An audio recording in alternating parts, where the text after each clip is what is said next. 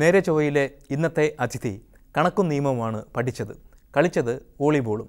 കൃത്യമായ കണക്കുകൂട്ടലോടെ രാഷ്ട്രീയത്തിൽ ഉയർന്നു ചാടി ചില പോയിന്റുകൾ അദ്ദേഹം നേടിയിട്ടുമുണ്ട്. കേന്ദ്രത്തിൽ ഊർജ സഹമന്ത്രി എന്ന നിലയിൽ കേരളത്തെ സഹായിച്ച് സഹായിച്ച് അദ്ദേഹം അടുത്തു ശ്രീ കെ സി വേണുഗോപാൽ ഇന്ന് ഇതേക്കുറിച്ചും പ്രതികരിക്കുന്നു. ഒപ്പം സമകാലിക രാഷ്ട്രീയത്തെക്കുറിച്ചും. ശ്രീ കെ സി വേണുഗോപാലിലേക്ക്. അല്പരാഷ്ട്രീയം പറഞ്ഞ ശേഷം നമുക്ക് ഊർജത്തിലേക്ക് കിടക്കാം. കേന്ദ്രമന്ത്രിമാരായ കെ വി തോമസും കെ സി വേണുഗോപാലും മുല്ലപ്പള്ളി രാമേന്ദ്രനും ഒക്കെ ഇവിടെ പാർട്ടിക്ക് സ്വീകാര്യരല്ല എന്നുണ്ടോ? നിങ്ങൾ ഈ രാഷ്ട്രീയമൊന്നും പറഞ്ഞ് കേൾക്കാറേയില്ല. ഞങ്ങളുടെ ജോലി ഇപ്പോൾ കേന്ദ്ര ഗവൺമെന്റിന്റെ ഭാഗമായിട്ട് പ്രവർത്തിക്കുക. ഗവൺമെന്റിന്റെ ഭാഗമായി പ്രവർത്തിച്ചുകൊണ്ട് സംസ്ഥാനത്തിൽ ചെയ്യാൻ കഴിയാവുന്ന കാര്യങ്ങൾ ദേശീയ തലത്തിൽ ചെയ്യാൻ കഴിയുന്ന കൂടുതൽ കാര്യങ്ങൾ ചെയ്യുക എന്നുള്ള ഉത്തരവാദിത്വമാണ് പാർട്ടി ഇപ്പോൾ നമ്മളെ ഏൽപ്പിച്ചിരിക്കുന്നത്. ആ ഉത്തരവാദിത്വം നിർവഹിക്കുക എന്നുള്ളതാണ് ചെയ്തുകൊണ്ടിരിക്കുന്നത്. അല്ല ഈ ഉത്തരവാദിത്വം തന്ന പാർട്ടിയോടും ഇല്ല ചില ഉത്തരവാദിത്തങ്ങളൊക്കെ പാർട്ടിയോട് ഉത്തരവാദിത്വം ഉള്ളതുകൊണ്ടാണ് ഈ തന്ന ഉത്തരവാദിത്തത്തിൽ മാത്രം നിന്നുകൊണ്ട് വർക്ക് ചെയ്യുന്നത്. അപ്പോൾ അതായത് നിങ്ങൾ ഇതിൽ ഇടപെട്ട് കഴിഞ്ഞാൽ ഈ പാർട്ടിക്ക് നന്നായിരിക്കില്ല എന്നാണ് ഉദ്ദേശിച്ചത് അല്ല അല്ല അല്ല. ഇടപെടേണ്ട കാര്യങ്ങളിൽ ഇടപെടണം. അത് ഇടപെടേണ്ട സമയത്തും സന്ദർഭങ്ങളിലും ഇടപെടണം. എല്ലാത്തിലും കയറി ഇടപെടുക എന്ന് പറയുന്നത് പാർട്ടിക്ക് ബുദ്ധിമുട്ടുണ്ടാക്കുന്നതായിരിക്കും എന്ന് മനസ്സിലാകുന്നു ഞാനിപ്പോഴും ഓർക്കുന്ന ഒരു കാര്യമുണ്ട്. ആരോട് ചോദിച്ചാലും പറയും കെ സി വേണുഗോപാൽ രമേശ് ചെന്നിത്തലയുടെ സ്വന്തം ആളാണെന്ന്. പക്ഷേ അതോടൊപ്പം താങ്കൾ ആന്റണിയുടെ നല്ല പുസ്തകത്തിലാണ് വയലാർ രവിയുടെ ആളാണ് വി എം സുധീരന്റെ പോലും സ്വന്തം ആളാണ്. ഇതെന്ത് തന്ത്രമാണ്? അങ്ങനെ ഒരു വ്യാഖ്യാനം അതിന് കൊടുക്കുന്നത് ശരിയല്ല. ഞാൻ പഠിച്ചത് കേരള വിദ്യാർത്ഥി യൂണിയന്റെ ഒരു സാധാരണ പ്രവർത്തകനായിട്ട് തുടങ്ങിയ ആളാണ്. അപ്പോൾ എന്നെ കൊണ്ടുവരുന്ന കാര്യത്തിൽ അന്ന് അന്ന് K S U president Ramesh ചെന്നിത്തലായിരുന്നു ഞാൻ പ്രവർത്തിച്ചുകൊണ്ടിരിക്കുന്ന ഒരു താഴെത്തട്ടിൽ. അപ്പോൾ അദ്ദേഹത്തിന്റെ ഒരു പിന്നെ വളരെ ശക്തമായ പിന്തുണ കിട്ടി. പിന്നീട് ഞാൻ വന്ന വേദികൾ ഇപ്പോൾ കെ എസ് യു പ്രസിഡന്റ് പോലെയുള്ള ഒരു നിർണായക പദവികളിലെത്തുന്ന കാര്യത്തിൽ അന്ന് പാർട്ടിയിലെ സമവാക്യങ്ങളിൽ ഒരുപാട് പ്രശ്നമുണ്ടായിട്ട് വേ കെ ആന്റണി എടുത്ത ധീരമായ നിലപാടുകൊണ്ടാണ് ഇലക്ഷൻ നടന്നത് കെ എസ് യു പ്രസിഡന്റ് ആവാൻ പറ്റിയത്.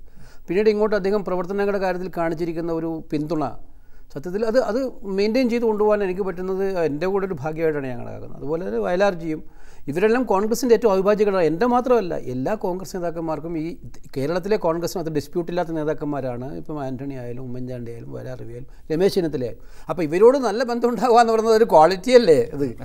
അതെ പക്ഷേ ഈ ക്വാളിറ്റി പലരിലും കാണാറില്ല. ആരോടെങ്കിലും കൂടുതൽ ബന്ധമുണ്ടെങ്കിൽ മറ്റുള്ളവർ ശത്രുപക്ഷത്തായിരിക്കും. പക്ഷേ താങ്കൾക്ക് അങ്ങനെ കാണുന്നില്ല. അതുകൊണ്ട് ചോദിച്ചതാണ്. അല്ല ഞാൻ ആരെയും ശത്രുപക്ഷത്ത് നിർത്തിക്കൊണ്ടുള്ള ഒരു പ്രവർത്തനം എന്റെ ഭാഗത്ത് ഉണ്ടാകാറില്ല. മാത്രമല്ല ഇവരെല്ലാം കേരളത്തിലെ കോൺഗ്രസ്സിനെ ഇൻ ദേശീയ തലത്തിലെ കോൺഗ്രസ്സിന് അവിഭാജ്യമായിട്ടുള്ള നേതാക്കന്മാരെന്ന നിലയിൽ അവരുടെ പ്രവർത്തനങ്ങളുമായി നോക്കിക്കണ്ടുകൊണ്ടുള്ള പ്രവർത്തനം നടത്താനാണ് ഞാൻ ആഗ്രഹിക്കാറുള്ളത്. അപ്പോൾ അതുകൊണ്ട് അവർക്ക് അലോസരം ഉണ്ടാകുന്ന കാര്യങ്ങളിലേക്ക് ഞാൻ വലിയതായിട്ട് പോകാറില്ല കെ സി വേണുഗോപാലിന്റെ ഒരു വളർച്ച കണ്ടിട്ട് എന്റെ സംശയം ഇത് കെ പി സി സി പ്രസിഡന്റായിരിക്കുന്ന രമേശ് ചെന്നിത്തലയുടെ വളർച്ചയ്ക്ക് തന്നെ വഴിതടസ്സമാവുമോ എന്നാണ്.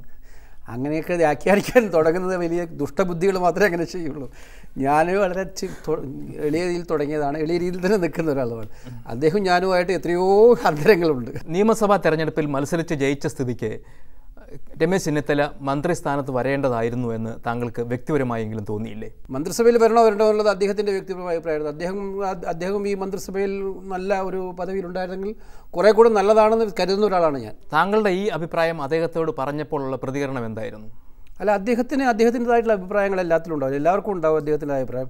ആ സന്ദർഭത്തിൽ അദ്ദേഹത്തിനെ ചുറ്റിപ്പറ്റി ആ അദ്ദേഹം മന്ത്രിയാകുന്നതുമായി ബന്ധപ്പെട്ടുണ്ടായ വിവാദങ്ങൾ അദ്ദേഹത്തെ വേദനിപ്പിച്ചു എന്നാണ് ഞാൻ മനസ്സിലാക്കുന്നത്. അതുകൊണ്ട് അദ്ദേഹം ആ സന്ദർഭത്തിൽ ഒരു തീരുമാനം എടുത്തു. ഞാൻ ഈ മന്ത്രിസഭയിലേക്ക് ഇല്ലാന്ന് തീരുമാനം. പക്ഷേ അന്നേരം ഉണ്ടായ ഒരു വേദനയുടെ പേരിൽ ഇതൊക്കെ വേണ്ടെന്ന് വെച്ചാൽ പിന്നെ എന്തെങ്കിലും നടക്കുമോ അങ്ങനെ വേണ്ടെന്ന് വെക്കാനും ഉള്ള തീരുമാനം മനസ്സുണ്ടാവുക എന്ന് പറയുന്നത് ഒരു നന്മയുടെ ഭാഗമല്ലേ അത്? അപ്പോൾ ഏതാണ്ട് ഒരു വർഷം ആവാറായി ഇപ്പോൾ തിരിഞ്ഞു നോക്കുമ്പോൾ അദ്ദേഹം മന്ത്രിയാവുകയായിരുന്നില്ലേ നല്ലത്? അത് ഇപ്പോൾ പറഞ്ഞാൽ അർത്ഥമില്ല. കഴിഞ്ഞ കാലഘട്ടങ്ങളെ കുറിച്ചിട്ട് വീണ്ടും പോസ്റ്റ്മോർട്ടം ചെയ്തുകൊണ്ട് വല്ല കാര്യം റിസൾട്ട് ഉണ്ടാവും. അന്ന് ആകേണ്ടിയിരുന്നു എന്ന് ഇപ്പോൾ തോന്നുന്നുണ്ട് എന്ത് കാര്യം? താങ്കൾക്ക് അങ്ങനെ ഒരു പ്രത്യേക ഗ്രൂപ്പൊന്നും ഇല്ലയെന്ന് പറഞ്ഞു. ഈ വിശാല ഐ ഗ്രൂപ്പ് എന്ന് എല്ലാവരെയും ചേർത്ത് പറയുന്നുണ്ടെങ്കിലും ഈ പേരിൽ മാത്രമേ ഇപ്പോഴും ഈ വിശാലതയുള്ളൂ അല്ലാതെ അങ്ങനെ ഒരു ഗ്രൂപ്പ് ഉണ്ടായി കാണുന്നില്ല. എന്താ പ്രശ്നം? അല്ല കേരളത്തിലെ കോൺഗ്രസിനകത്ത് ഇപ്പോൾ ഒരു കാര്യം മനസ്സിലാകുന്നു ഒരു പോസിറ്റീവായിട്ടുള്ള അംശം ഞാൻ കാണുന്നത്. കോൺഗ്രസിന്റെ ഒരു ഭിന്നതയുടെ ഏറ്റവും രൂക്ഷമായ അംശം കണ്ടവരാണ് ഞങ്ങളെല്ലാവരും. അതിന്റെ പരമകോടിയിൽ ഭിന്നതയുടെ ഭിന്ന ഞാൻ സത്യത്തിൽ ഏറ്റവും കൂടുതൽ ഞാൻ അനുഭവിച്ച ഒരാളാണ്. യൂത്ത് കോൺഗ്രസ് പ്രസിഡന്റായിട്ട് ഇരിക്കുമ്പോൾ തന്നെ ഒരു സമാന്തര യൂത്ത് കോൺഗ്രസ് റാലി വരെ കേരളത്തിൽ ഒരിക്കലും ഉണ്ടാവാത്ത വണ്ണം അത്രത്തോളം ഗ്രൂപ്പിന്റെ ഏറ്റവും അതിപ്രസരം ഉണ്ടായിരുന്ന കാലഘട്ടത്തെ കണ്ട ആളുകളാണ് ഞങ്ങൾ അതിന് ഒരുപാട് അനുഭവിക്കുകയും ചെയ്തതാണ് പാർട്ടി.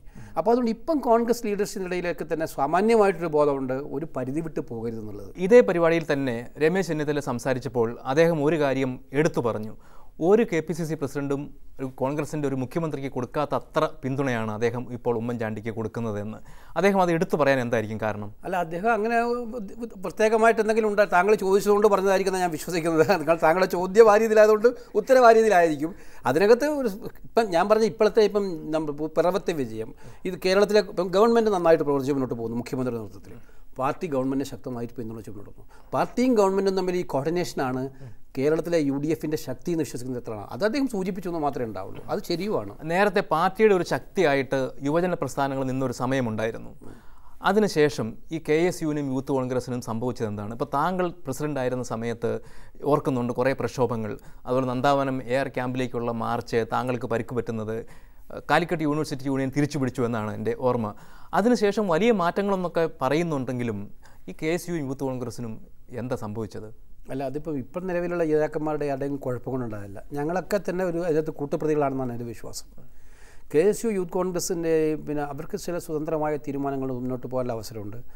അത് കാലക്രമ പിന്നെ കാലഘട്ടം മാറുന്നതനുസരിച്ച് നമ്മൾ പിന്നെ ശൈലിയിലും മാറ്റം വരുത്തേണ്ടതായിട്ടുണ്ട്. അപ്പോൾ ഇതിനകത്ത് കെ എസ് യുവിന്റെയും യൂത്ത് കോൺഗ്രസിന്റെയും പ്രവർത്തനങ്ങൾ കുറേ കൂടി ആർജവത്തോടെ കൊണ്ടുപോകാൻ വേണ്ടിയിട്ടുള്ള നടപടികൾ സ്വീകരിക്കുന്ന കാര്യത്തിൽ പാർട്ടി ലീഡർഷിപ്പ് ഞാൻ അടക്കമുള്ള പിന്നെ ആളുകൾ മുൻകാലഘട്ടങ്ങളിൽ കെ എസ് യൂത്ത് കോൺഗ്രസ് വന്ന ആളുകൾ കുറേ കൂടി സമയം ചിലവഴിച്ച് അതിന് വേണ്ടിയിട്ടുള്ളൊരു തീരുമാനം എടുത്ത് മുന്നോട്ട് പോകേണ്ടതാണെന്നാണ് എന്റെ അഭിപ്രായം. അത് ഒരു സത്യത്തിൽ അത് ഹൈ ടൈമിൽ നിൽക്കുകയാണെന്നുള്ളതാണ് സംശയമില്ല. യുവജന വിദ്യാർത്ഥി രംഗത്തേക്ക് ഇപ്പം പുതിയ ചെറുപ്പക്കാർക്കും വിദ്യാർത്ഥികൾക്കും പൊളിറ്റിക്സിൽ താല്പര്യം കുറഞ്ഞു വരുന്നൊരു കാലഘട്ടത്തിൽ നമ്മൾ ഓരോ വർഷം കഴിഞ്ഞു വരുന്നത് അപ്പോൾ അവ- അവരെ നിലനിർത്താൻ അവർക്ക് അവർക്ക് കൂടി ആകർഷകമായ മുദ്രാവാക്യങ്ങൾ ഉണ്ടാക്കാൻ അവർക്ക് കൂടി ആകർഷകമായ പരിപാടികളിലേക്ക് പോകാൻ അത് ചെറുപ്പക്കാരുടെയും വിദ്യാർത്ഥികളുടെയും കോസ് ഏറ്റെടുക്കുന്ന ഒരു ഓർഗനൈസേഷനാണ് ഇത് എന്ന് ശക്തിപ്പെടുത്തിക്കൊണ്ട് മുന്നോട്ട് പോകാൻ വേണ്ടിയുള്ള ഒരു ശക്തമായ കാരണം ഇത് പിന്നീട് പലപ്പോഴും നമ്മൾ വന്നുപോയത് നമ്മുടെയൊക്കെ തന്നെ പിന്നെ പാർട്ടിയിലുണ്ടാകുന്ന അഭിപ്രായ വ്യത്യാസം കൊണ്ടൊരു ഒരു ഭാഗമായിട്ട് K S U youth Congress നിൽക്കേണ്ടി വന്ന കാലഘട്ടം മുതലാണ് ഇതിന് പ്രയാസം വന്നു തുടങ്ങിയത്. അപ്പോൾ അത് മാത്രമായിരിക്കുമോ കാരണം? അതോ പുതിയ നിബന്ധനകൾ അനുസരിച്ച് ഭാരവാഹികളുടെ എണ്ണം പോലും നിജപ്പെടുത്തിയിട്ടുണ്ട്. ഈ ഭാരവാഹിത്വം ഒന്നും ഇല്ലാതെ കെ എസ് യുവിലും യൂത്ത് കോൺഗ്രസിലൊക്കെ ആരെങ്കിലും പ്രവർത്തിക്കാൻ വരുമോ മറ്റൊരു ഭാഗം ഞാൻ പറഞ്ഞാൽ സംഘടനാ തിരഞ്ഞെടുപ്പ് നടത്താൻ കോൺഗ്രസിനെ പോലെയുള്ള ഒരു പാർട്ടിയുടെ യുവജന സംഘടനക്ക് കഴിയുന്നു എന്ന് പറയുന്നത് മഹത്തായ കാര്യമല്ലേ? പക്ഷേ ചില ലൂപ്പ് ഹോൾസ് അവിടെ ഉണ്ട് ചില ന്യൂനതകളുണ്ട് താങ്കൾ ഇവിടെ സൂചിപ്പിച്ചതുപോലെ. അത് പരിഹരിക്കപ്പെടും. കാരണം ക്രമേണ ഇലക്ഷൻ പ്രോസസ്സ് ശക്തിപ്പെട്ട് കണ്ടിന്യൂസ് ആയിട്ട് മുന്നോട്ട് പോകുമ്പോൾ അത് പരിഹരിക്കപ്പെടും എന്നാണ് വിശ്വസിക്കുന്നത് കേരളത്തിലെ ഇപ്പോഴത്തെ ഒരു സമകാലിക രാഷ്ട്രീയ വിവാദം ലീഗിന്റെ അഞ്ചാം മന്ത്രിയെ ചൊല്ലിയുള്ളതാണ്. അഞ്ചാം മന്ത്രി അനുവദിക്കുന്നതിന് ഒരു തടസ്സമായിട്ട് പറയുന്നത് ന്യൂനപക്ഷ സമുദായ അംഗങ്ങളുടെ എണ്ണം മന്ത്രിസഭയിൽ കൂടുന്നത് നല്ലതല്ല എന്നാണ്. അങ്ങനെ കൂടിയാൽ അതേക്കുറിച്ച് ഭൂരിപക്ഷ സമുദായം ചിന്തിക്കുമോ അങ്ങനെ എനിക്ക് തോന്നുന്നില്ല. ഇപ്പം മന്ത്രിയുടെ എണ്ണം നോക്കിയിട്ടോ അല്ലെങ്കിൽ എം എൽ എമാരുടെ എണ്ണം നോക്കിയിട്ടോ സമുദായം തീരുമാനിക്കുന്നില്ല ഒരു പിന്നെ നടപടികളിൽ നോക്കിയിട്ടാണ് ജനങ്ങൾ തീരുമാനിക്കുന്നത്. ഏതെങ്കിലും ഒരു ഒരു ഗവൺമെന്റിന്റെ നടപടി ഇപ്പോൾ ഈ ഗവൺമെന്റ് വന്നതിന് ശേഷം തന്നെ എല്ലാ സമുദായങ്ങളോടും സമൂഹങ്ങളോടും നല്ല പ്രതിബദ്ധതയാണ് കാണിച്ചിരിക്കുന്നത്. അവരുടെ ആക്ഷൻസിൽ ഇപ്പോൾ പത്മനാഭ സ്വാമി ക്ഷേത്രത്തിൽ ഏറ്റവും നിർണായകമായ ഒരു കാര്യമായിരുന്നു ഗവൺമെന്റ് മുമ്പാകെ വന്നത്. എടുത്ത തീരുമാനം. ശബരിമലയുടെ വികസന കാര്യത്തിൽ ഈ ഗവൺമെന്റ് എടുത്ത തീരുമാനം. അപ്പോൾ ഈ ഗവൺമെന്റിന്റെ പ്രവൃത്തിയിലാണ് മതേതരത്വം ഫീൽ ചെയ്യേണ്ടത്. അല്ലാതെ ഗവൺമെന്റിൽ ആ മന്ത്രിമാരുടെ എണ്ണം നോക്കിയിട്ടല്ലാതെ ഫീൽ ചെയ്യേണ്ടത്. അല്ല ഇപ്പോൾ ലീഗിനോ കേരള കോൺഗ്രസിനോ കൂടുതൽ പ്രാമുഖ്യം കിട്ടുന്ന ഒരു സർക്കാരിനെ കുറിച്ച് എസ് എൻ ഡി പിക്കോ എൻ എസ് എസിനോ ആശങ്കകൾ ഉണ്ടായിക്കൂടെ? അല്ല സ്വാഭാവികമായിട്ടും ഈ പറയുന്നതിന്റെ അർത്ഥം പ്രവർത്തനങ്ങളിലാണ് ഉണ്ടാകേണ്ടത്. ഇപ്പം ജനാധിപത്യ ഇത് ഐക്യമുന്നണി സംവിധാനമാകുമ്പം ഐക്യമുന്നണി കോൺഗ്രസിന് മാത്രം കൊണ്ടുനടക്കാൻ പറ്റില്ലല്ലോ. പ്രത്യേകിച്ച് ഇപ്പം ചെറിയ ഭൂരിപക്ഷത്തിൽ നിൽക്കുന്ന ഒരു ഗവൺമെന്റ് അല്ലെങ്കിലും ഐക്യമുന്നണി സംവിധാനത്തിൽ ചെറുതായാലും വലുതായാലും ഭൂരിപക്ഷമായാലും എല്ലാ കക്ഷികളെയും ക്യാരി ചെയ്തുകൊണ്ടുകൊണ്ട് ഉത്തരവാദിത്വം നയിക്കുന്ന ഒരു സംഘടനയിൽ കോൺഗ്രസിനാണുള്ളത്. അതുകൊണ്ട് കോൺഗ്രസ് വിചാരിക്കുന്ന ആളെ മന്ത്രിയാവാൻ പറ്റുള്ളൂ. കോൺഗ്രസ് വിചാരിക്കുന്നതേ നടക്കുള്ളൂ എന്ന് പറയാൻ യു ഡി എഫിൽ പറ്റില്ല. ഐക്യമുന്നണി പറ്റില്ല. ആ റിയാലിറ്റി അറിയുന്നവരായിരിക്കും കേരളത്തിലെ കേരളത്തിലെല്ലാവരും ആ റിയാലിറ്റി അംഗീകരിച്ചാൽ ലീഗിന് അഞ്ചാം മന്ത്രി കൊടുക്കുന്നതിലും വലിയ പ്രശ്നമില്ല എന്ന് തന്നെ താങ്കൾക്ക് തോന്നുന്നു. എന്ന് ഞാൻ അങ്ങനെ പറഞ്ഞിട്ടില്ല. അങ്ങനെ വ്യാഖ്യാനിക്കാതെ. അതിനെക്കുറിച്ച് കെ പി സി സി പ്രസിഡന്റും മുഖ്യമന്ത്രിയും ബന്ധപ്പെട്ട നേതാക്കന്മാരും എല്ലാം വ്യക്തമായി പറഞ്ഞു കഴിഞ്ഞു. അവരാണ് തീരുമാനമെടുക്കേണ്ട ആൾ കേരളത്തിലെ ലീഡർഷിപ്പ് അപ്പം പാർട്ടി അക്കാര്യത്തെക്കുറിച്ച് ഗൗരവമായി ചർച്ച ചെയ്തിട്ടില്ല എന്ന് കെ പി സി പ്രസിഡന്റ് പറഞ്ഞു. മൂന്നാം തീയതി പാർട്ടി യോഗം വിളിച്ചിട്ടുണ്ട് അവിടെ ചർച്ച ചെയ്യുമെന്ന് പറഞ്ഞു.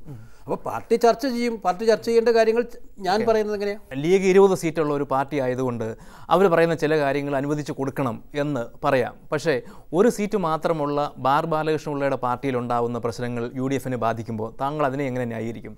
ഞാൻ പറഞ്ഞല്ലോ സീറ്റ് ഒരു സീറ്റായാലും ഇരുപത് സീറ്റായാലും ഇതിനകത്ത് യു ഡി എഫ് എന്ന് പറയുന്നത് കെട്ടുറപ്പോടെ മുന്നോട്ട് പോകേണ്ടത് എല്ലാവരുടെയും ആവശ്യമാണ്. അത് കോൺഗ്രസിന്റെ മാത്രം ഉത്തരവാദിത്വമല്ല. എല്ലാവരുടെയും ആവശ്യമാണ്. ആ ആവശ്യത്തിൽ പരമാവധി വിവാദങ്ങൾ ഉണ്ടാക്കാതെ കൊണ്ടുപോകുക എന്ന് പറയുന്നത് യു ഡി എഫിലെ എല്ലാ കക്ഷികളും ആ ചെറിയ കക്ഷിയായാലും വലിയ കക്ഷിയായാലും എല്ലാവർക്കും ഉത്തരവാദിത്വമുള്ളതാണ് അങ്ങനെ വിവാദങ്ങൾ ഉണ്ടാക്കി ജനമധ്യത്തിൽ ചർച്ച ചെയ്യപ്പെടുന്ന യു ഡി എഫിന് നല്ലതായിരിക്കില്ല എന്നുള്ളത് നമ്മൾ പഴയ അനുഭവങ്ങളിൽ നിന്നും ഒരുപാട് അറിയുന്നതാണ്. അതുകൊണ്ട് ബന്ധപ്പെട്ട കക്ഷികൾ തന്നെയാണ് അവരുടെ പാർട്ടിക്കകത്തെ വിവാദം വിവാദങ്ങൾ അവരുടെ പാർട്ടിക്കകത്ത് തന്നെ പരമാവധി പരിഹരിക്കാൻ പരിശ്രമിക്കേണ്ടത്. ഈ ലീഗിന്റെ അഞ്ചാം മന്ത്രിസ്ഥാനം നെയ്യാറ്റിങ്കര ഉപതെരഞ്ഞെടുപ്പിനെ എങ്ങനെയെങ്കിലും ബാധിക്കുന്നത് താങ്കൾക്ക് തോന്നുന്നുണ്ടോ? അതെങ്ങനെ തോന്നുന്നത്. കാരണം ഇതിനകത്ത് ഞാൻ പറഞ്ഞല്ലോ ഉപതെരഞ്ഞെടുപ്പുകളിൽ യു ഡി എഫിന്റെ പ്രതിച്ഛായയോ പ്രശ്നത്തെയോ ബാധിക്കാതെ പരിരക്ഷിക്കുന്ന കാര്യത്തിൽ കോൺഗ്രസിനോടൊപ്പം തന്നെ തുല്യ ഉത്തരവാദിത്തോട് നിൽക്കുന്ന പാർട്ടിയാണ് മുസ്ലിം ലീഗും. അതുകൊണ്ട് ഈ പ്രശ്നം അങ്ങനെ വഷളായിട്ട് മുന്നോട്ട് പോകാൻ ആരും ആഗ്രഹിക്കുന്നു ഞാൻ വിചാരിക്കുന്നില്ല. അതുകൊണ്ട് ഒരു പ്രശ്നം ആവത്തുമില്ല എന്നാണ് എന്റെ വിശ്വാസം. ശരി പോട്ടെ. അങ്ങനെയാണെങ്കിൽ നെയ്യാറ്റിങ്കറിലെ സ്ഥാനാർത്ഥി ഒരു വിഷയമാകുമോ ശെൽവരാജ് തന്നെ യു ഡി എഫ് സ്ഥാനാർത്ഥി ആവണമെന്നാണ് താങ്കൾ ആഗ്രഹിക്കുന്നത്. ഞാൻ അതെങ്ങനെ എനിക്ക് ആഗ്രഹിക്കാൻ പറ്റുന്നത്? കോൺഗ്രസ് കാൻഡിഡേറ്റാണ് ആണ് തീരുമാനിക്കുന്നത്. കോൺഗ്രസ് പിന്തുണക്കുന്ന കാൻഡിഡേറ്റിനെ തീരുമാനിക്കേണ്ട ഉത്തരവാദിത്വം ഹൈക്കമാൻഡിനാണ്. അതെ. ഹൈക്കമാൻഡാണ് കോൺഗ്രസ് പാർട്ടിയിൽ ആര് സ്ഥാനാർത്ഥിയാവണം ആര് സ്ഥാനാർത്ഥിയാവണം തീരുമാനിക്കുന്നത്. പല ആഗ്രഹങ്ങളും ഉണ്ടാകും പല അഭിപ്രായങ്ങളും ഉണ്ടാകും. പക്ഷെ അന്തിമമായി കോൺഗ്രസ് ഹൈക്കമാൻഡ് തീരുമാനിക്കുന്ന സ്ഥാനാർത്ഥിയെ എല്ലാവരും അംഗീകരിക്കും. സെൽവരാജിനെ കോൺഗ്രസ് ഹൈക്കമാൻഡിനൊന്നും അറിയില്ല. നിങ്ങൾ പറഞ്ഞാൽ ആക്കും അല്ലെങ്കിൽ ആക്കില്ല അത്രയേ ഉള്ളൂ. അപ്പം നിങ്ങൾ പറയൂ എന്നാണ് എന്റെ ചോദ്യം. ഞങ്ങൾ പാർട്ടി ഇതിനെക്കുറിച്ച് ചിന്തിച്ചിട്ട് പോലും എന്താ ചെയ്യേണ്ടതെന്ന് ഈ കാര്യം സ്ഥാനാർത്ഥി നിർണയവുമായി ബന്ധപ്പെട്ട് പാർട്ടി ആലോചന നടത്തിയാലേ അങ്ങനെ പറയാൻ പറ്റുള്ളൂ. ശരി ഒരു വ്യക്തിപരമായ അഭിപ്രായം പറ. അദ്ദേഹമായിരിക്കുമോ നല്ലത്? എനിക്ക് നെയ്യാറ്റിങ്കരയുടെ ഭൂമിശാസ്ത്രം പൂർണമായിട്ടും എനിക്കറിയില്ല. ഏതാണ് നല്ലത് അല്ലാതെ മോശമെന്ന് പറയാം. എന്തായാലും ഒരു സ്ഥാനാർത്ഥിയെ തീരുമാനിക്കുന്ന നെയ്യാറ്റിങ്കരയിലെ വിജയസാധ്യതയുള്ള ഒരു സ്ഥാനാർത്ഥിയെ തന്നെ ആയിരിക്കും യു ഡി എഫ് നിർത്തുന്നത് എന്നുള്ള സംശയം എനിക്കില്ല. വിജയസാധ്യതയുള്ള സ്ഥാനാർത്ഥി കോൺഗ്രസ്സുകാരനായിരിക്കണമെന്ന് നിർബന്ധമില്ല. യു ഡി എഫിന് വിജയസാധ്യതയുള്ള സ്ഥാനാർത്ഥി ഉണ്ടാകും അത് കോൺഗ്രസ്സുകാരനാകാം കോൺഗ്രസിന് പുറത്തുനിന്നുള്ളവരാകാം അത് അവസാനം ഞാൻ പറഞ്ഞല്ലോ അന്തിമമായിട്ട് കോൺഗ്രസ് ഹൈക്കമാൻഡ് തീരുമാനിക്കും. അപ്രതീക്ഷിതമായിട്ട് ഒരു ഊർജ പ്രതിസന്ധിയെ കൂടി ഈ കേരളം നേരിടുന്നു. ലോഡ് ഷെഡിങ് തുടങ്ങുന്നു. ഇത് ആരുടെ പിടിപ്പുകേട് കൊണ്ടുണ്ടായതാണ് നമ്മൾ കേരളീയരുടെ പിടിപ്പുകേടുണ്ടായതാണ്. നമ്മൾ സ്വയം ആത്മപരിശോധന നടത്തേണ്ട ഒരുപാട് മുഹൂർത്തമാണിത്. ലോഡ് ഷെഡിങ് ഇപ്പം മാത്രം തുടങ്ങിയതല്ല രണ്ടായിരത്തി എട്ടിലുണ്ടായിരുന്നു ലോഡ് ഷെഡിങ് ഏറ്റവും ഒടുവിലായിട്ട്. ലോഡ് ഷെഡിങ് ഒക്കെ ഉണ്ടായിരുന്നു നമ്മൾ മനസ്സിലാക്കേണ്ട ഓരോ ദിവസം കഴിയുന്തോറും നമ്മുടെ ഡിമാൻഡ് കൂടിക്കൊണ്ടിരിക്കുകയാണ്. ഡിമാൻഡിനനുസരിച്ചുള്ള പ്രൊഡക്ഷൻ ഇവിടെ നടക്കുന്നില്ല. എന്നുള്ളത് പച്ചയായ പരമാർത്ഥമാണ്. കഴിഞ്ഞ അഞ്ച് പഞ്ചവത്സര അല്ല അഞ്ചാം പന്ത്രണ്ടാം പഞ്ച പതിനൊന്നാം പഞ്ചവത്സര പദ്ധതി കാലത്ത് അഞ്ച് വർഷം എടുത്ത് നോക്കിയാൽ നൂറ് മെഗാവാട്ടാണ് നമ്മുടെ വൈദ്യുതി ഉൽപ്പാദനം. നമ്മളെ ഡിമാൻഡ് കൂടിയിരിക്കുന്നത് അഞ്ഞൂറ്റി അമ്പത്തെട്ടോളം മെഗാവാട്ട് വൈദ്യുതിയുടെ ഡിമാൻഡ് ഇവിടെ ഈ അഞ്ച് വർഷം കൂടിയപ്പോൾ നമ്മൾ ഉൽപ്പാദിപ്പിച്ച നൂറാണ്. അവിടെ തന്നെ നാനൂറ്റി അമ്പത്തെട്ട് മെഗാവാട്ടിന്റെ കുറവുണ്ട്. അതെ. അപ്പം ഞങ്ങൾ ഈ പാവം ജനങ്ങൾക്ക് ഇത് ഉപയോഗിക്കാൻ മാത്രമേ അറിയുള്ളൂ. ഉൽപ്പാദിപ്പിക്കാൻ കഴിയില്ല. ഉൽപ്പാദിപ്പിക്കാൻ നടപടി എടുക്കേണ്ടത് ഭരണാധികാരികളാണ്. അപ്പോൾ അവരുടെ പിടിപ്പ് കടന്നല്ലേ പറയുന്നത്? അല്ല ഭരണാധികാരികൾ തുടങ്ങിയപ്പോൾ തുടങ്ങി വെച്ചപ്പോൾ പല രീതിയിലുള്ള പ്രക്ഷോഭങ്ങൾ പല രീതിയിലുള്ള കാര്യങ്ങൾ ഇപ്പം ഉദാഹരണം കഴിഞ്ഞ ഗവൺമെന്റിന്റെ കാലത്ത് ചില എഫേർട്സ് അവർ നടത്തി. ചീമേനിയിലൊരു താപവൈദ്യുത നിലയം കൊണ്ടുവരാൻ ശ്രമം നടത്തി ആയിരം മെഗാവാട്ടിന്റെ ആതിരപ്പള്ളിയുടെ കാര്യത്തിൽ ആ ഗവൺമെന്റിനകത്ത് തന്നെ സമമായി ഉണ്ടായിരുന്നില്ല എന്നുള്ളതാണ് യാഥാർത്ഥ്യം. കുറച്ച് പദ്ധതികൾ നടത്തി പക്ഷേ ആ പദ്ധതികളൊന്നും വെളിച്ചം കണ്ടില്ല. താങ്കൾ ഈ പറയുന്ന അതിരപ്പിള്ളി ചീമേനി കഞ്ചിക്കോട് രാമക്കൽമേട് ഈ പദ്ധതികളൊക്കെ നടപ്പാക്കാത്തതിന്റെ ഏറ്റവും പ്രധാന കാരണം പരിസ്ഥിതി പ്രശ്നങ്ങളാണ്. ഈ പരിസ്ഥിതി പ്രശ്നങ്ങളൊക്കെ മാറ്റിവെച്ച് ഈ പദ്ധതികളൊക്കെ അങ്ങ് നടപ്പാക്കണമെന്നാണോ താങ്കൾ ഉദ്ദേശിക്കുന്നത്? അല്ല പരിസ്ഥിതിയെ ബഹുമാനിക്കുന്ന ഒരാളാണ് ഞാനും കേരളത്തിൽ ജീവിക്കുന്ന ഒരാളാണ്. കേരളത്തിന്റെ ബയോഡൈവേഴ്സിറ്റിയും കേരളത്തിന്റെ പരിസ്ഥിതിയും ഒക്കെ സംരക്ഷിക്കണം എന്നുള്ള ആവശ്യത്തിൽ ഞാനും ഉറച്ചു നിൽക്കുകയാണ്. ഞാൻ പരിസ്ഥിതി വിരോധിയൊന്നുമല്ല ഞാൻ. പക്ഷേ അനുഭവങ്ങൾ ഇപ്പം പഠിപ്പിച്ചുകൊണ്ടിരിക്കുന്നത് നമ്മുടെ ഊർജാവശ്യങ്ങൾ എന്ന് പറയുന്നത് കേരളീയനെ സംബന്ധിച്ചിടത്തോളം ഏറ്റവും നിർണായകമാണ്. അപ്പോൾ നമ്മുടെ പ്രശ്നം നമുക്കിവിടെ വൈദ്യുതി ഉൽപ്പാദിപ്പിക്കാൻ കഴിയുന്നില്ല. വൈദ്യുതി കൊണ്ടുവരാനുള്ള ലൈൻ നിർമ്മിക്കാന്ന് വെച്ചാൽ അതിനും നമുക്ക് സമ്മതിക്കാൻ പറ്റുന്നില്ല. പിന്നെ എങ്ങനെ നമ്മുടെ ഊർജാവശ്യം മീറ്റ് ചെയ്യും? അതാണ് ഞാൻ സൂചിപ്പിച്ചത്. നമ്മളെ സംബന്ധിച്ച് നമ്മൾ തന്നെ സ്വയം വിമർശനത്തിന് വിധേയമാകണമെന്ന് ഞാൻ പറഞ്ഞു അപ്പോൾ ഈ ഊർജത്തിന്റെ മന്ത്രി എന്ന നിലയിൽ ഈ കേരളത്തിന്റെ കാര്യം കൊണ്ട് താങ്കൾ തോറ്റോ? അല്ല തോറ്റൊന്നുമില്ലല്ല അങ്ങനെയില്ല. കേരളത്തിന്റെ കാര്യങ്ങൾ ഞാൻ അങ്ങനെ ഒരു ചെറിയ മനുഷ്യൻ. അപ്പോൾ കേരളത്തിന്റെ കാര്യങ്ങളിൽ ഇപ്പം നമ്മളെ കൊണ്ടാവുന്ന പരമാവധി ഇപ്പം ഇപ്പം ആയിരത്തി ഇരുന്നൂറ്റമ്പത്തോളം മെഗാവാട്ട് വൈദ്യുതി കേന്ദ്ര പൂളിൽ നിന്നാണ് കേരളത്തിൽ നൽകിക്കൊണ്ടിരിക്കുന്നത്. ഏകദേശം നാൽപ്പത് ശതമാനത്തോളം വരെ നമ്മൾ ഉപയോഗിക്കുന്നുണ്ട്. അതിൽ തന്നെ നാനൂറ്റി പതിനാറ് മെഗാവാട്ട് ഇപ്പം അൺ അലോക്കേറ്റഡ് കോട്ടയാണ്. കേന്ദ്ര ഗവൺമെന്റ് സംബന്ധിച്ചും പതിനഞ്ച് ശതമാനം ഈ അൺഅലോക്കേറ്റഡ് കോട്ട കൊടുക്കുന്നത് വെള്ളപ്പൊക്കം വരൾച്ച അങ്ങനെയുള്ള അത്യാവശ്യ ഘട്ടങ്ങൾ ഒരു സ്റ്റേറ്റിന് വരുമ്പോൾ അവിടെ സപ്പോർട്ട് ചെയ്യാനാണ്. ഇപ്പോൾ ദക്ഷിണേന്ത്യയെ സംബന്ധിച്ചിടത്തോളം പറഞ്ഞാൽ കർണാടകത്തിൽ പവർ കട്ടുണ്ട് നല്ലോണം. തമിഴ്നാട്ടിൽ ആ, ഒമ്പത് മണിക്കൂർ വരെ പവർ കട്ടുണ്ട് ആന്ധ്രയിൽ പവർ ഹോളിഡേ തന്നെ ഉണ്ട്. അവരുടെയൊക്കെ പിന്നെ പീക്ക് ഡെഫിസിറ്റ് പതിനൊന്ന് പോയിന്റ് ആറും പതിനെട്ട് പോയിന്റ് ആറും പതിമൂന്ന് പോയിന്റ് ആറും ഒക്കെയാണ്. കേരളത്തിന്റെത് ആറ് ശതമാനമാണ് ഇപ്പോൾ താരതമ്യേന ഭദ്രമാണ് ഈ നാല് മൂന്ന് സംസ്ഥാനങ്ങളെ നോക്കുക നമ്മൾ പക്ഷേ ഏറ്റവും കൂടുതൽ വൈദ്യുതി കൊടുക്കുന്നത് കേന്ദ്രം കേരളത്തിലാണ് നാനൂറ്റി പതിനാറ് മെഗാവാട്ട് ഇപ്പം ഞാൻ മന്ത്രിയാകുമ്പോൾ ഉണ്ടായിരുന്ന നൂറ്റി എഴുപത്തി മൂന്ന് മെഗാവാട്ടായിരുന്നു അണലോക്കേറ്റഡ് കോട്ട. ഇപ്പോൾ ഇത് നാനൂറ്റി പതിനാറ് മെഗാവാട്ട് വരെ കൊടുക്കാൻ നമുക്ക് കഴിയുന്നുണ്ട്. പക്ഷേ ഇത് നമ്മൾ മനസ്സിലാക്കേണ്ടത് എന്നും ഈ കേന്ദ്ര ഗവൺമെന്റിനെയും മറ്റ് സംസ്ഥാനങ്ങളെയും ആശ്രയിച്ചുകൊണ്ട് നമുക്ക് മുന്നോട്ട് പോകാൻ പറ്റൂല്ല പറ്റില്ല. അപ്പോൾ അവിടെ ഒരു വില്ലോടുകൂടി ഡിസിഷൻ എടുക്കേണ്ടത് അനിവാര്യമാണ് അല്ല അപ്പോൾ തീരുമാനം മാത്രം പോരാ. ജനങ്ങളെ ബോധവൽക്കരിക്കുക കൂടി വേണം. പക്ഷേ ജനങ്ങളെ എങ്ങനെ ബോധവൽക്കരിക്കും? ഇതൊരു ഉദാഹരണം പറഞ്ഞാൽ താങ്കളുടെ തന്നെ സുഹൃത്തായിരിക്കുന്ന വി എം സുധീരൻ തന്നെ പല പദ്ധതികളെയും എതിർക്കുകയല്ലേ ചെയ്തത്? അപ്പോൾ അദ്ദേഹത്തെ ബോധ്യപ്പെടുത്താൻ കഴിയാത്ത എന്തുകൊണ്ടാണ് അല്ല വി എം സുധീ ഞാൻ അതുകൊണ്ടാണ് ഞാൻ പറഞ്ഞത്. രാഷ്ട്രീയമായ സമവായം ഇക്കാര്യത്തിൽ എതിർപ്പ് പറയുന്നവർ അവരുടെ പോയിന്റ് പറയും. അവർക്ക് അവരുടേതായ ഗ്രൗണ്ട് ഉണ്ടാവും പറയാൻ. അവരെ ഒന്നും ഞാൻ മോശക്കാരായിട്ടൊന്നുമല്ല. കാണാം അവർ അവർ വലിയ കോൺട്രിബ്യൂഷൻ നടത്തുന്ന ആളുകൾ തന്നെ പൊതുസമൂഹത്തിൽ അല്ല അത് വെറും ഒരു ഗ്രൗണ്ട് എന്ന് പറഞ്ഞ് തള്ളിക്കളയാവുന്നതാണോ? പരിസ്ഥിതി പ്രശ്നം. അല്ല അങ്ങനെയല്ല ഞാൻ പറഞ്ഞ പരിസ്ഥിതി പ്രശ്നം ഉണ്ടെന്ന് വെച്ചോ പരിസ്ഥിതി പ്രശ്നമുണ്ട് ഇപ്പോൾ ആതിരപ്പള്ളി പരിസ്ഥിതി പ്രശ്നം. നമുക്ക് ആ പദ്ധതി വേണ്ടാന്ന് വെക്കാം. അതുപോലെ തന്നെ പിന്നെ ചീമേനിയുടെ പരിസ്ഥിതി പ്രശ്നമുണ്ട് ആ പദ്ധതി വേണ്ടാന്ന് വെക്കാം. പക്ഷേ നമുക്ക് സമാന്തര മാർഗങ്ങൾ ആരംഭിക്കണ്ടേ? നമുക്ക് ഇതൊന്നും വേണ്ടാന്ന് വെച്ച് മുന്നോട്ട് പോകാൻ പറ്റുമോ? ഇലക്ട്രിസിറ്റി ജനറേഷനേ വേണ്ട എന്ന് വെച്ച് കേരളത്തിന് മുന്നോട്ട് പോകാൻ പറ്റുമോ? അപ്പോൾ ആര് തരുമായിട്ട് അപ്പോൾ അപ്പോൾ അരമണിക്കൂർ പവർ കട്ട് തുടങ്ങുമ്പോൾ തന്നെ നമ്മുടെ മുറവിളി ഇവിടെ മറുഭാഗത്ത് തുടങ്ങുകയും ചെയ്തു. ഇത് സഹിക്കാൻ കഴിയുന്നവരാണോ നമ്മൾ അപ്പോൾ ഇതിവിടെ എവിടെയെങ്കിലും ഒന്ന് മീറ്റ് ചെയ്യണ്ടേ? അപ്പോൾ അത് മീറ്റ് ചെയ്യുന്നത് എങ്ങനെയാണ്? അപ്പോൾ ഞാൻ ഞാൻ ചോദിക്കുന്നത് ഇപ്പം അങ്ങനെയുള്ള മീറ്റിംഗ് മീറ്റ് ചെയ്യുന്ന പോയിന്റിലേക്ക് എത്തിക്കാൻ കഴിയുന്ന അവസരം ഉണ്ടാക്കണം. അതെ. അപ്പോൾ എന്റെ ചോദ്യം ആദ്യം മാറേണ്ടത് ആരാണ്? രാഷ്ട്രീയ നേതാക്കളാണോ? ആക്ടിവിസ്റ്റുകളാണോ? അതോ ജനങ്ങളാണോ? രാഷ്ട്രീയ നേതൃത്വത്തിന് ഒരു ഇച്ഛാശക്തി ഇക്കാര്യത്തിൽ വേണം. രാഷ്ട്രീയ പാർട്ടികൾ അത് ഇന്നലെ ഭരിച്ചവർക്കും ഇന്ന് ഭരിച്ചവർക്കും തുല്യ ഉത്തരവാദിത്വം തന്നെയാണ് എന്റെ വിശ്വാസം. ആരുടെയും തലയിൽ വെച്ച് മാറാനൊന്നും നമുക്ക് പറ്റില്ല. പൊളിറ്റിക്കൽ പാർട്ടീസ് എല്ലാവരും കൂടെ ഒന്നിച്ചിരിക്കണം. ഈ കാര്യത്തിൽ കേരളത്തിനുള്ള പ്രശ്നം അതല്ലേ? കേരളത്തിന് ഡെവലപ്മെന്റ് ആക്ടിവിറ്റീസ് വരുമ്പം നമ്മളാരും ഒന്നിച്ചിരിക്കാൻ തയ്യാറാവാറില്ല. മറ്റു പല സംസ്ഥാനങ്ങളിൽ അതുണ്ട്. ഇപ്പോൾ കൂടംകുളത്തിന് ഇഷ്യൂ വന്നു. അവിടെ ഡി എം കെയും എ ഡി എം കെയും പരസ്പരം പരസ്പരം പോരടിച്ച് നിൽക്കുകയാണെങ്കിലും ഈ ഇഷ്യൂവിൽ കൂടംകുളം ഓപ്പൺ ചെയ്യണം എന്നുള്ള കാര്യത്തിൽ അവർ ഒന്നിച്ച് നിൽക്കുന്നത് ഇവിടെ അതില്ലല്ലോ. ഇവിടെ യു ഡി എഫ് ഒരു കാര്യം കൊണ്ടുവന്നാൽ എൽ ഡി എഫ് അതിനെ എങ്ങനെയെങ്കിലും എതിർക്കാനാണ് നോക്കുക. എൽ ഡി എഫ് കൊണ്ടുവന്നാൽ തിരിച്ചു കൊണ്ടുപോകാറുണ്ടെന്ന് ആക്ഷേപമുണ്ട്. അപ്പോൾ ഇതിന് ഇത് ഇത് വൈദ്യുതി കാര്യത്തിൽ ഇതിങ്ങനെ പോകുന്നതുകൊണ്ടാണ് നമുക്ക് ഞാൻ പറഞ്ഞല്ലേ പരിസ്ഥിതി പ്രശ്നങ്ങളുള്ള വിഷയങ്ങളങ്ങ് മാറ്റി വെക്കുക. പരിസ്ഥിതി കുറഞ്ഞ്. ഇപ്പോൾ കേരളത്തെ സംബന്ധിച്ച് എന്ത് ചെയ്താലും പ്രശ്നമായിരിക്കും. ഞാൻ നേരത്തെ പറഞ്ഞു ലൈൻ വലിച്ചു കൊണ്ടുപോകുന്നതിന് കുറച്ച് പേരെ പിന്നെ ബാധിക്കും. അവർക്ക് കോമ്പൻസേഷൻ കൊടുക്കാൻ തയ്യാറാണെന്ന് പറഞ്ഞിട്ടുണ്ട്.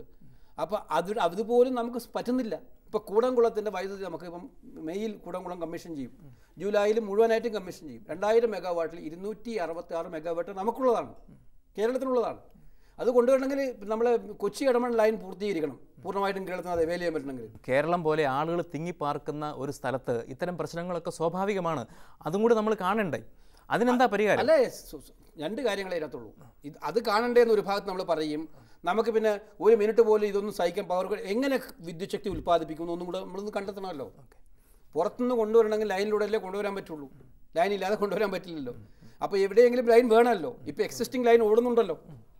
അപ്പോൾ അപ്പോൾ അപ്പോൾ അത് ഓവർലോഡ് ആവുന്നതുകൊണ്ടാണ് പുതിയ ലൈനിനെ കുറിച്ച് നമ്മൾ ചിന്തിച്ചുകൊണ്ടിരിക്കുന്നത്. ഈ പരിസ്ഥിതിയെ നിലനിർത്തിക്കൊണ്ട് തന്നെ നമുക്ക് ബദൽ മാർഗങ്ങൾ എന്താണ് എന്ന് ആലോചിക്കാൻ ഈ പറഞ്ഞ രാഷ്ട്രീയ നേതാക്കളെയും ആക്ടിവിസ്റ്റുകളെയും ഒരുമിച്ച് ചേർത്ത് തന്നെ ഒരു ചർച്ച അങ്ങനെ ഒരു സമന്വയത്തിലെത്താനുള്ള ഒരു ശ്രമം അതാരാ നടത്തേണ്ടത്?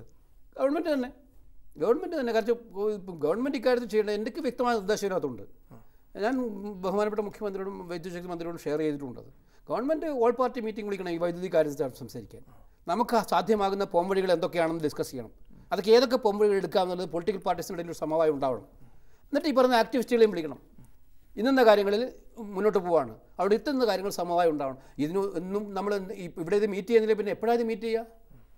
അപ്പോൾ ഒരു വലിയ ഒരു അപകടകരമായ അവസ്ഥയിലേക്കാണ് കേരളം പോകുന്നത്. രണ്ടായിരത്തി പതിനാറാകുമ്പോഴേക്ക് നമ്മൾ നാലായിരത്തി തൊണ്ണൂറ് മെഗാവാട്ട് വൈദ്യുതി നമ്മുടെ ഡിമാൻഡ് വരാൻ പോകും. നമ്മൾ വലിയ മെഗാ പ്രോജക്റ്റുകളെ കുറിച്ച് ആലോചിക്കുക ഇപ്പം പോയി കൊച്ചി മെട്രോ വരുന്നു. വല്ലാർപാടത്തിന്റെ വന്നു കഴിഞ്ഞു. അതുപോലെ പിന്നെ ഹൈ സ്പീഡ് കോറിഡോർ വരാൻ പോകുന്നു. ഇതിനെല്ലാം ഇലക്ട്രിസിറ്റി വേണമല്ലോ. സ്വതവേ തന്നെ രണ്ടായിരത്തി പതിനാറാകുമ്പോഴേക്കും നാലായിരത്തി എണ്ണൂറ് മെഗാവാട്ട് വൈദ്യുതി വേണമെന്നാണ് നമ്മുടെ കണക്കൂട്ടൽ ഇ പി എസ് സർവേ അനുസരിച്ച്. ഇതിന് കൂടി കൂടി വരും. ഇപ്പോൾ നമുക്ക് വൈദ്യുതി ഇല്ല എന്ന് പറയുമ്പോൾ തന്നെ നമ്മൾ വൈദ്യുതി വിൽക്കുന്നുണ്ട്. ഇവിടുത്തെ ഈ ഊർജ മാനേജ്മെന്റിൽ എന്തെങ്കിലും പ്രശ്നമുണ്ടോ? അല്ല ഊർജ മാനേജ്മെന്റിൽ പ്രശ്നം എന്ന് വെച്ചാൽ വൈദ്യുതി വിൽക്കുന്നത് പറഞ്ഞാൽ ഇപ്പം നമ്മളൊരു കാര്യം മനസ്സിലാക്കേണ്ടത് ഇലക്ട്രിസിറ്റി ബോർഡിന്റെ തലയിൽ എല്ലാം വെച്ച് കെട്ടി പോകാൻ പറ്റില്ല. ഇപ്പം ഇലക്ട്രിസിറ്റി ബോർഡിന്റെ ഫൈനാൻഷ്യൽ സ്റ്റെബിലിറ്റി ഒരു വലിയ പ്രശ്നമാണ്. ദേശീയ തലത്തിൽ തന്നെ വലിയ പ്രശ്നമാണ്. കാരണം അവർ കടം വാങ്ങിച്ചൊക്കെയാണ് കാര്യങ്ങൾ നടത്തുന്നത്. കടം കിട്ടണമെങ്കിൽ ഇപ്പോൾ ഇന്നത്തെ കാലത്ത് ഡിസ്കോമിന്റെ ഫൈനാൻഷ്യൽ സ്റ്റെബിലിറ്റി എല്ലാവരും നോക്കും. ഇപ്പോൾ ഗവൺമെന്റ് ഇപ്പോൾ കേരള ഗവൺമെന്റ് തന്നെ ഇലക്ട്രിസിറ്റി ബോർഡിനൊന്നും കാര്യമായി ഒന്നും കൊടുക്കുന്നില്ല. ഗവൺമെന്റ് പറയും സബ്സിഡി കൊടുക്കണം. ഇപ്പോൾ അഗ്രികൾച്ചർ ഫാമേഴ്സിന് സബ്സിഡി അല്ലെങ്കിൽ ഏതെങ്കിലും സമയത്ത് സബ്സിഡി കൂടുതൽ പറയും. ഈ സബ്സിഡി ഗവൺമെന്റ് റീഇംബേഴ്സ് ചെയ്യില്ല അത് ബോർഡിന്റെ ബാധ്യതയായിട്ട് വരികയാണ്. ഇപ്പോൾ പല നമ്മുടെ കേരളത്തിൽ തന്നെ വാട്ടർ അതോറിറ്റി പലയിടത്തും ബില്ല് കൊടുക്കാറുണ്ട്. ഹോസ്പിറ്റലുകളിൽ ബില്ല് കൊടുക്കാറുണ്ട്. ഈ ബില്ലൊന്നും അവർക്ക് കിട്ടാറില്ല സമയം. ഇതൊക്കെ ബോർഡിന്റെ ലയബിലിറ്റിയിൽ വരികയാണ്. ഇപ്പോൾ കേരളത്തിലെ ഇലക്ട്രിസിറ്റി ബോർഡ് പോലും വലിയ ലയബിലിറ്റി ഇതാണ് എന്റെ വിശ്വാസം. മറ്റു സംസ്ഥാന അപേക്ഷിച്ച് അവർ മെച്ചമാണെങ്കിൽ പോലും അവർ നല്ല ഒരു സാറ്റിസ്ഫാക്ഷനുള്ള കണ്ടീഷനിലല്ല അവർ നിൽക്കുന്നത്. അപ്പോൾ ഗവൺമെന്റുകൾ പോപ്പുലർ സ്കീമുകൾ പറയുമ്പോൾ ഗവൺമെന്റുകൾ പോപ്പുലാരിറ്റി പറയുമ്പോൾ അതിന്റെ പിന്നെ ഇലക്ട്രിസിറ്റി ബോർഡുകൾക്ക് അത് കോമ്പൻസേറ്റ് ചെയ്യാനുള്ള നടപടി സ്വീകരിക്കുന്നില്ല. നമ്മുടെ ചില തൽക്ഷണ പ്രതികരണങ്ങൾ ഈ പ്രശ്നം വഷളാക്കുന്നതിന് പങ്കുവഹിച്ചിട്ടുണ്ടോ? ഉദാഹരണത്തിന് മുല്ലപ്പെരിയാർ പ്രശ്നം വന്നപ്പോൾ ഇടുക്കി ഡാമിലെ ജലനിരപ്പ് പെട്ടെന്ന് അങ്ങ് താഴ്ത്തി. അത് താഴ്ത്താതെ അന്നത്തെ മാർഗത്തിൽ പ്രഭാവമുണ്ടോ അത് താഴ്ത്തിയത് തന്നെയാണ് ഇന്നത്തെ പ്രതിസന്ധിക്ക് ഒരു പ്രധാനപ്പെട്ട കാരണം ഒരു സംശയമൊന്നുമില്ല. മുല്ലപ്പെരിയാർ ഡാമിലത്തെ വെള്ള നിലനിൽപ്പ് താഴ്ത്തിയത് തന്നെയാണ്. പക്ഷേ അന്ന് ഗവൺമെന്റിന്റെ മുന്നിൽ അത് ഗവൺമെന്റ് അത് ചെയ്തില്ലെങ്കിൽ നമ്മളെ താങ്കളുടെ ചാനലിൽ തന്നെ അതിനെ ഏറ്റവും ശക്തമായിട്ട് എതിർക്കുമായിരുന്നല്ലോ. സംശയമൊന്നുമില്ലല്ലോ. അന്ന് ചോദിക്കുന്ന ചോദ്യം എന്തായിരിക്കും? ജീവനാണോ വലുത് അല്ല വൈദ്യുതിയാണോ വലുത്? അവിടെ ഗവൺമെന്റിന്റെ മുമ്പിൽ പിന്നെ മറ്റ് ദീർഘകാലത്തേക്ക് ചിന്തിക്കാൻ മാർഗമില്ലായിരുന്നു. അപ്പോൾ അവർ എനിക്കറിയാമായിരുന്നു മനസ്സില്ലാ മനസ്സോടെയാണ് ആ തീരുമാനം ഇലക്ട്രിസിറ്റി ബോർഡും ഇലക്ട്രിസിറ്റി മന്ത്രിയും എടുത്തത്. വികാരത്തിനടുപ്പെട്ട് യുക്തിരഹിതമായ ചില തീരുമാനങ്ങൾ സർക്കാർ എടുക്കുന്നു എന്നാണ് താങ്കൾ പറയുന്നത്. അല്ല എടുക്കേണ്ടി വരുന്നു എന്നാണ് ഞാൻ പറയുന്നത്. പക്ഷേ അതിനൊക്കെ അതീതമായിട്ട് ചിന്തിക്കാൻ ഒരു സർക്കാരിന് കഴിയണ്ടേ? അത് ബോധ്യപ്പെടുത്താൻ ആളുകളെ ബോധ്യപ്പെടുത്താൻ ഒരു സർക്കാരിന് കഴിയണ്ടേ? അതിനെ ബോധ്യപ്പെടുത്താനുള്ള ശ്രമം ഈ ഒരു വിഷയം വളരെ സെൻസിറ്റീവായി നിന്നൊരു ഘട്ടത്തിൽ മുല്ലപ്പെരിയോളമായി ബന്ധപ്പെട്ട് നിന്ന വളരെ സെൻസിറ്റീവായി നിന്നൊരു ഘട്ടത്തിൽ ഞാൻ നേരത്തെ ചോദിച്ച ചോദ്യമാണ് ഒരു സാമാന്യ എല്ലാവരുടെ ആശങ്ക ഉണ്ടായിരുന്നു. ഈ പറഞ്ഞ എന്റെ മനസ്സിലും അടക്കം ആശങ്ക ഉണ്ടായിരുന്നു. ആ ആശങ്കകൾ ഇങ്ങനെ വന്ന് വ്യാപിപ്പിക്കുമ്പം വേറെ മാർഗമില്ലായിരുന്നു. ഫ്ലോ ചെയ്യിപ്പിക്കൽ മാർഗമുള്ളൂ കൂടുതൽ ഫ്ലോ ചെയ്യുക കൂടുതൽ ഇലക്ട്രിസിറ്റി ഉൽപ്പാദിപ്പിക്കാവുന്ന മാർഗം ഉണ്ടായിരുന്നു. അപ്പോൾ സ്വീകരിച്ചു. അതിന്റെ പരിണതഫലം ഇതിലേക്ക് വരുമെന്നുള്ളത് എല്ലാവർക്കും അറിയാവുന്ന കാര്യമായിരുന്നു. വിദ്യുത് ശക്തി ബോർഡുമായി ബന്ധപ്പെട്ട എല്ലാവർക്കും അറിയാവുന്ന കാര്യമായിരുന്നു. പക്ഷേ അന്ന് അത് ഒന്നും ചെയ്യാൻ കഴിയില്ലായിരുന്നു. അറിഞ്ഞുകൊണ്ട് തന്നെ അങ്ങനെ തീരുമാനം എടുക്കുകയായിരുന്നു ആ ഞാനതങ്ങനെ മനസ്സിലാക്കുന്നത്. അവർക്കറിയാമായിരുന്നു ഇത് ക്രൈസിസ് വരും എന്നുള്ളത് അറിഞ്ഞുകൊണ്ട് തന്നെയാണ് ആ തീരുമാനമെടുത്തത്. അതൊരു ദീർഘവീക്ഷണത്തോടെയുള്ള തീരുമാനമാണെന്ന് പറയാൻ പറ്റുന്നതല്ല. ഏറ്റവും കൂടുതൽ മുൻഗണനയോടുകൂടി കേരളം പ്ലാൻ ചെയ്യേണ്ട ഒരു കാര്യമാണ് ഈ വൈദ്യുതി ഉൽപ്പാദനം പക്ഷേ അങ്ങനെയുള്ള ഒരു ശ്രമം ഇപ്പോൾ ഈ മെട്രോയ്ക്ക് വേണ്ടിയിട്ടോ അല്ലെങ്കിൽ മറ്റ് ചില പ്രോജക്റ്റുകൾക്ക് വേണ്ടിയിട്ടോ ഉള്ളതുപോലെ അങ്ങനെ ഒരു ശ്രമം ഇക്കാര്യത്തിൽ കാണുന്നില്ല എന്നുണ്ടോ? അല്ല അങ്ങനെ കാണണം കാണുന്ന ഇവിടെ കേരളത്തിന്റെ ഒരു ഡെവലപ്മെന്റ് ഓറിയന്റഡ് ആയിട്ടുള്ള മുന്നോട്ടുള്ള യാത്രയിൽ വളരെ വളരെ ഡിസിസീവ് ആയിട്ടുള്ള ഡിസിഷൻ എടുക്കുന്ന ഒരു ഗവൺമെന്റാണ് ഇപ്പം കേരളത്തിലുള്ളത്. പ്രത്യേകിച്ച് മുഖ്യമന്ത്രിയും അവരുടെ ടീമും വളരെ നല്ല ഡിസിഷൻ എടുക്കുന്നു വളരെ വളരെ ഡൈനാമിക്കായ ഡിസിഷൻ എടുക്കുന്നു. പക്ഷേ താങ്കൾ പറഞ്ഞതുപോലെ ഈ ഡൈനാമിക് ഡിസിഷൻ നടപ്പിലാക്കുമ്പോൾ ആദ്യം നടപ്പിലാക്കേണ്ട കാര്യം പവറാണ് പവർ പ്രോജക്റ്റുകളാണ് അല്ലെങ്കിൽ പവറുമായി ബന്ധപ്പെട്ട ഇത് പരിഹരിക്കലാണ്. ആ കാര്യത്തിൽ എത്ര ദൂരം മുന്നോട്ട് പോകുമെന്ന് കേരളം കാത്തിരിക്കുകയാണ് അവരുടെ സമീപനം. ഇപ്പോൾ ഈ കൂടംകുളം പദ്ധതിയുടെ കാര്യം താങ്കൾ സൂചിപ്പിച്ചു. കൂടംകുളം പദ്ധതിക്കെതിരെ സമരം നടത്തിയത് ആരാണെന്നാണ് നിങ്ങളുടെ അന്വേഷണത്തിൽ കണ്ടെത്തിയത്? അവസാന ഫൈൻഡിങ് എന്തായിരുന്നു? അല്ല സമരം എങ്ങനെ നടത്തി? എന്ത് നടത്തി? സമരം നടത്തിയ പാവങ്ങൾ ഒരുപാട് അതിനകത്ത് പങ്കെടുത്തിട്ടുണ്ട്. അവർ എല്ലാ അവരെയൊന്നും ഞാൻ കുറ്റപ്പെടുത്താൻ ആഗ്രഹിക്കുന്നില്ല. പല കാരണങ്ങളും ആശങ്കകൾ വിളിച്ചതിൽ ജപ്പാനുണ്ടായ സംഭവങ്ങൾ വിളിച്ചതിലൊക്കെ അവിടെ ചുറ്റും താമസിക്കുന്ന ആളുകളുടെ ഭീതി സ്വാഭാവികമായ ഭീതിയാണ്. പക്ഷേ ആ സമരവുമായി ബന്ധപ്പെട്ട് മുന്നോട്ട് പോയ ലീഡർഷിപ്പിന്റെ കാര്യത്തിൽ അഭിപ്രായ വ്യത്യാസങ്ങളുണ്ട്. കേന്ദ്ര ഗവൺമെന്റ് മുന്നിൽ പ്രധാനമന്ത്രി തന്നെ വെച്ച കണക്ക് ചില വ്യക്തമായിട്ടുള്ള സൂചനകൾ കേന്ദ്ര ഗവൺമെന്റ് കിട്ടിയിട്ടുണ്ട്. അതിന്റെ അടിസ്ഥാനത്തിലാണ് കേന്ദ്ര പ്രൈം മിനിസ്റ്റർ തന്നെ അത് തുറന്നു പറയേണ്ട ഒരു ഘട്ടം എത്തിയത്. അമേരിക്കൻ എൻ ജി ഒമാരാണ് അവിടെ പ്രശ്നം ഉണ്ടാക്കിയെങ്കിൽ അമേരിക്കയെ എപ്പോഴും എതിർക്കുന്ന വി എസ് അവിടെ കൂടംകുളത്ത് പോകുമെന്ന് പ്രഖ്യാപിച്ചിരിക്കുകയാണ്. അപ്പോൾ അദ്ദേഹം എന്തിനായിരിക്കും പോകുന്നത്? അദ്ദേഹം എങ്ങനെ പ്രവർത്തിക്കായാലും അദ്ദേഹം ഇപ്പോൾ കൂടംകുളത്ത് പോകുന്നതിന്റെ പിന്നിലെ ചെയ്തോപകാരം എന്താണെന്ന് എനിക്ക് മനസ്സിലാവുന്നില്ല. കൂടംകുളം അത് മെയ്യിൽ കമ്മീഷൻ ചെയ്യാൻ വേണ്ടി പോകുന്ന ഒരു ഒരു ഒരു ഒരു പ്ലാന്റ് ഞാൻ സൂചിപ്പിച്ചതുപോലെ അത് തൊണ്ണൂറ്റെട്ട് ശതമാനവും പൂർത്തീകരിച്ച് കഴിഞ്ഞ് കമ്മീഷനിങ് ആയി പോകുന്ന പ്ലാന്റ് മാത്രമല്ല തമിഴ്നാട് ഗവൺമെന്റ് അക്കാര്യത്തിൽ അവിടുത്തെ എല്ലാ രാഷ്ട്രീയ പാർട്ടികളും ഇൻക്ലൂഡിങ് സി പി എം എല്ലാം തീരുമാനമെടുത്തിരിക്കുന്നിടത്തേക്ക് അദ്ദേഹം എന്തിന്റെ പേരിലാണ് പോകുന്നതെന്ന് എനിക്കറിയില്ല. ഒരു കോളേജ് അധ്യാപകനോ എഞ്ചിനീയറോ ഒക്കെ ആവാനുള്ള യോഗ്യത താങ്കൾക്കുണ്ടായിരുന്നു. പക്ഷെ അതെല്ലാം വിട്ട് താങ്കൾ രാഷ്ട്രീയത്തിൽ വന്നു. രാഷ്ട്രീയത്തിൽ നിന്ന് പലതും താങ്കൾക്ക് കിട്ടി. പക്ഷെ താങ്കളിൽ നിന്ന് രാഷ്ട്രീയത്തിന് എന്താ കിട്ടിയത്? അല്ലാതെ ഞാനല്ലല്ലോ വിലയിരുത്തേണ്ടത്. എനിക്ക് രാഷ്ട്രീയത്തിൽ നിന്ന് ഒരുപാട് കിട്ടി. ഞാൻ താങ്കൾ പറഞ്ഞതുപോലെ പോലെ എന്റെ ഒരു ഇൻസിഡന്റിലായിട്ട് ഞാൻ പൊളിറ്റിക്സിലേക്ക് വന്നതാണ്. ഞാൻ പഠിച്ചുകൊണ്ടിരിക്കുമ്പോൾ തന്നെ എനിക്ക് എഞ്ചിനീയറിംഗ് കോളേജ് സെലക്ഷൻ കിട്ടിയിരുന്നു. എനിക്ക് പോകാൻ പറ്റിയില്ല. അന്ന് സ്റ്റുഡന്റ് പൊളിറ്റിക്സിന്റെ ഭാഗമായിട്ട് ഒരു ആവേശത്തിൽ അവിടെ നിന്നു. ബാങ്കിൽ ജോലി കിട്ടിയിരുന്നു. അന്ന് ഡിഗ്രിക്ക് പഠിക്കുമ്പോൾ തന്നെ. എനിക്ക് ഞാനത് അതിന് അതും വഴിതെറ്റി അപ്പോൾ ഒരു കണക്കിൽ രാഷ്ട്രീയത്തിൽ പ്ലാൻ ചെയ്ത് വന്നതല്ല ഇൻസിഡന്റിലായിട്ട് അങ്ങനെ വന്നതാണ്. അപ്പോൾ എനിക്ക് ഇത്രയും വർഷത്തിന് പ്രവർത്തനങ്ങളിൽ ഒരുപാട് അവസരങ്ങൾ കിട്ടി. എന്റെ പാർട്ടി ഒരുപാട് അവസരങ്ങൾ തന്നു. ജനങ്ങൾ ഒരുപാട് സ്നേഹിച്ചു. പക്ഷേ എന്റെ പ്രവർത്തനങ്ങൾ കൊണ്ട് അവർക്ക് എന്ത് കിട്ടി എന്നുള്ളത് പറയേണ്ടത് അവരല്ല ഇപ്പോൾ താങ്കളുടെ തന്നെ വിലയിരുത്തലിൽ താങ്കളിൽ നിന്ന് ഒരു കോൺഗ്രസ് നേതാവ് എന്ന നിലയിൽ പഠിക്കേണ്ട ഒരു കാര്യമുണ്ടെങ്കിൽ അതെന്ത്? അത് ഞാൻ എന്റെ അത് ഞാൻ വിലയിരുത്തുന്നത് എന്തായാലും ആത്മപ്രശംസയാവത്തേ ഉള്ളൂ. അപ്പോൾ ഇനിയുള്ള കാലവും ആത്മപ്രശംസയിൽ വീഴാതിരിക്കട്ടെ. വളരെ നന്ദി.